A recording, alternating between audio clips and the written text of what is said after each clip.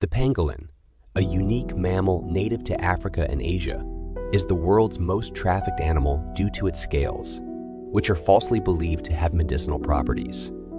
It is also the only mammal with scales, and it has a long, sticky tongue that can be longer than its body.